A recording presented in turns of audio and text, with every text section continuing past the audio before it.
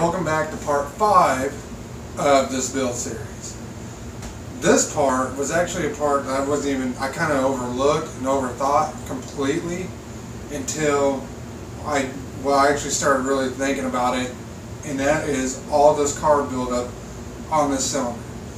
Now there will be two separate videos so this will be part 5 on this and then I'll have a part, well whenever I get to it, I'll do it on the uh, pistons. So, what this is, is I'm going to take all this carbon off of the cylinder. Sorry, cylinder head. Which is all this carbon buildup right here on each individual cylinder. Now what I'm talking about is all of this buildup right here. Then I'm going to show you how to get rid of most of that. Or not most of it, all of it. And why it's important to get rid of it. So we'll start with that. The reason why you want to get rid of all this carbon buildup is one, I mean, it it's flow. You're going to disrupt your, your flow a bit. But the main thing of it is, is creating hot spots. Now a hot spot is basically when it when the air comes in the chamber, comes into the piston, cylinder wall, spark plug ignites, uh, comes in with the fuel, ignites. When it ignites, it ignites certain areas, which is usually your higher points, say like on your piston or on your on your cylinder head, where it has buildup. It'll really focus on igniting just like in that one spot which is why it's called a hot spot. You don't want that. You want it to, to disperse evenly throughout the cylinder wall and in the piston or on your cylinder head. So we're going to try to alleviate as much as we can of the hot spotting. And how we're going to do that is by using WD-40. Now you might be asking, why would I use WD-40? WD-40 is like a solvent. It'll act like a solvent. It'll clean. Now, one thing about WD-40 is, is if you spray it on like your cylinder walls to prevent rusting, you do have to keep coating it. That way, it can keep protection, keep protection, or else it will basically dry away. So you want to keep your areas lubricated as much as possible. But this it pulls moisture out is what it does. But it also cleans, so it act, it's like a solvent. What you're going to want to do, and see, you also use this to clean your cylinder heads off too, in the block. And I'm going to try some methods on how to clean this. And as you've seen, it was, uh, I believe, cylinder number one was cleaner than the rest of them. That was because I've, I've worked on this already and I've, I've just kind of wanted to see how it's going to work. But what I'm going to do is I'm going to spray the cylinder head down with this W40 and I'm going to let it sit overnight. The reason I'm going to let it sit overnight so it can really get into there and really break it down. I'm going to try not to use any scraper or anything to pull all of this out or to get all this carb buildup off. I'm going to try to do it the best I can without doing that. And when I wipe this off, see what I what I did before was I sprayed it on. I kind of rubbed my finger on it. Like this stuff's really hard. This stuff's really hard. This stuff is actually kind of wiping away over here. But what you're wanting to do is get everything out uh, right here that's going to be inside the pit, the uh, cylinder and anything around your, your valve seats right here. You want to take all of that out as much as possible to alleviate any hot spotting at all. So like I said, I'm going to let this sit overnight and it'll probably be, I I'm probably going to let it sit for about 12 hours, if not, or not 12, 24 hours if not somewhere in the range of oh 18, 16 to 18 hours. I'll probably check it after work or it might be later. I'm just going to put a, a conservative amount because I have a lot of carb buildup around the exhaust ports that I didn't get when I poured because I did not want to hit the valve seats. And I'm not worried about anything in the water jacket or the yeah water jackets or even in the oil because I still no matter what I have to clean the cylinder head with carb cleaner no matter what because I still have like I said the gasket to go and you don't want none of this in your oil or in your coolant. Um, so I'm going to go ahead and let this sit overnight and then when I get back to it I will let you I will let I'll let you guys see how good the stuff comes off. Now like I said the cylinder one no it wasn't cylinder one sorry it was cylinder four. It's this one right here. That one I let it sit for 30 minutes and I was able to wipe off a lot. That's why I'm going to let it sit for almost 24 hours and see how much it really is going to pull off. I checked the cylinder heads earlier because I, I sprayed the cylinder walls down. Not the cylinder head, sorry, piston tops. I checked those and it was coming right off. It, it was, you can wipe it with your finger and you can see it pulling up.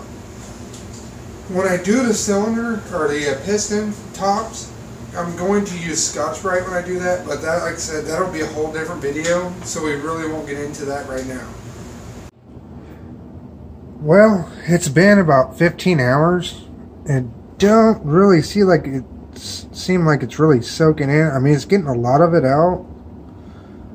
There, I think if I rub it some, it'll come out. So I'll probably, I will probably have to do some scraping on it.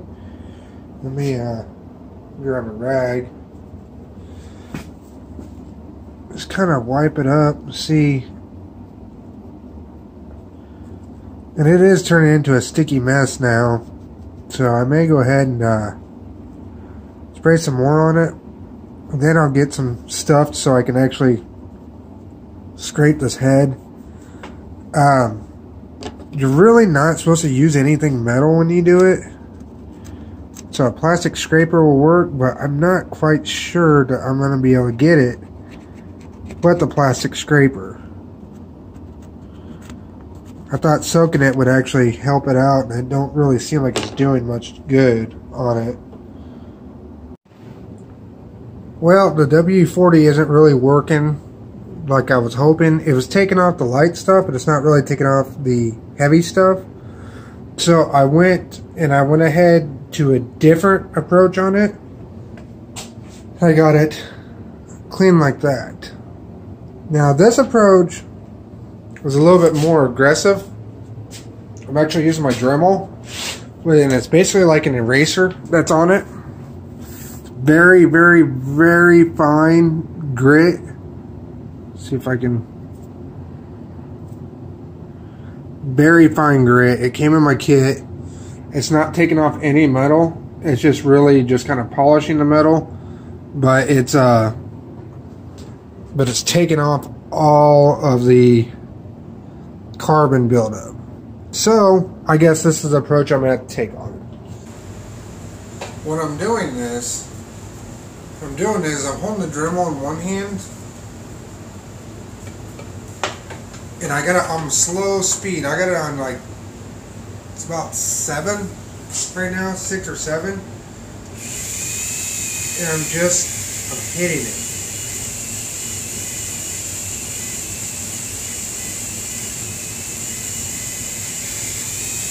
You don't have to put a lot of elbow grease in it at all. You don't have to really push down on it. Just want to take that carbon buildup off. You want to stay away from the valve seats too.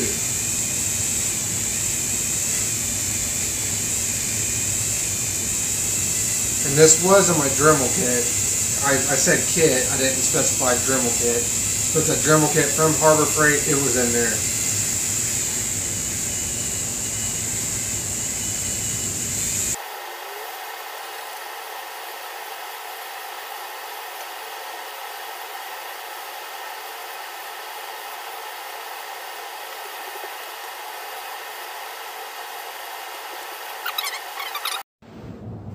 And she is done. It's polished up pretty good. I know it probably looks weird, like my port jobs, you know, kind of like that. But it's it's basically like I said, it's it's like an eraser. It's not really a sanding stone at all. I mean, I'm, I'm, it is, but it don't take off any metal. It was all the uh, rubbery stone that came off of it. It knocked all that carbon off. The only stuff I couldn't get is like if it's like deep down in like the uh, cast casting, then I couldn't get it out. Everything else came out. So this is done now. Besides getting the head gasket off, and now, but or actually it's not done. I take that back. I still need to get the carbon out of the chambers right here on the exhaust side. There's some buildup. I'm still trying to figure out how I'm going to do that, but I'm sure I'll get it figured out. It's, uh, yeah, it, uh, everything looks really good now. Um, hopefully this weekend I'll probably be able to get the lap kit. If not this weekend, it'll be next weekend. I don't know. It, it really depends on scheduling because we got a lot going on. Just had our new baby last week, so it's uh scheduling. It's not. It's really scheduling. I, I'm trying to do this while the baby sleeps, you know, spare time, whenever I, I get a chance. So it will be done. It's coming along slowly, but this is only not almost the middle of November. I still have a good three months left before it has to be running. I would like it to be running and driving in February, like fully figured out in February. And if you're a part of Dark Knight Dark Knight Facebook page, you would have seen the picture where I had it in my basement. It is in my basement again. It just makes it easier for me to put the body panels on when I get the body panels. But um, it's it, the motor and everything's not going in down here. It's just going to be the motor going up in it, or not the motor. Sorry, putting on the body panels, drilling everything that needs to go in, running the wiring and everything, and then the bike will come out. But yeah, for the cylinder head, pretty much only thing that's left is lapping the valves, getting this carbon buildup out, which it should come out when I uh, put uh, use carb cleaner when I do the the head. So it's gonna take some work, but I'll be able. I should be able to get it out. If not, I may try some degreaser. I don't know. I I've seen some other things on the internet. Um, or also heard of the uh, scrubbing bubbles. That stuff works for the bathrooms, or I think that's for toilet. One of the two. I heard that it works on the carbon buildup, so we'll see. I'll try some, uh, maybe some oven cleaner or something. But should be able to get all this stuff off. Once I get that all cleaned up, like I said, lapping the valves, and then it's going to be cams, uh, valve springs, maybe retainers. I'm still not quite sure on the retainers, but it might be the retainers, uh, valve springs, and then I can put that all together, and it'll be ready to go on the on the uh, actual block. I still need to clean the pistons, which I'll have another video on that. And then once the pistons are clean and the deck is clean, then it is ready for the, uh, and this is all done and valves and everything are in, lap and everything. The uh, cylinder head will be ready to go on. And then it'll just be a matter of waiting for the cams to come in. I'll, uh, I'll check the, uh, the, uh, shims for the valves, I'll check the valve clearance on it, or the valve shims. I'll also check the valve clearance on it and make sure it's not going to smack the uh, pistons. And then it'll be a matter of going over to my buddy's house, degreeing the cams. Once I get that done, it's ready to throw back in the bike. And then it'll be ready to fire up. Now, one thing, uh, I don't think I threw it on Dark Knight Facebook page, but the wiring harness Still kind of looks like a mess, but it's like really cleaned up compared to what it was. Well, uh, I got everything figured out. I got everything exactly where I know where it needs to go. I got all the wires laid out that I need to still run. Um, the switch that needs to be ran, and then ignition switch. I need to put uh, an end on that, and it's pretty much like once the motor part is done and ready to go back in, it's gonna be very, very, very easy. It'll be very fast to like to completion. Um, said I would like to try to get it running in January. I initially wanted to do it in in December. I don't see that happening, especially with uh, having my buddy degree the cams. I got to go off of his timing or his schedule, and of course, it has to work with my scheduling. So we'll see how that goes. We'll see how that comes out. But that's going to conclude this video. Uh, hopefully, this build series is really helping people out, or you know, maybe even teaching people stuff that they didn't know or was afraid to do, like as far as the porting the cylinder head out, or you know, blending the valve guides, cleaning the cylinder head, pretty much anything that I've done. Like my transmission video, I even showed my mistake that I did and how I corrected it. Like, hopefully, I'm teaching you guys and giving out the good enough content the on how to do stuff.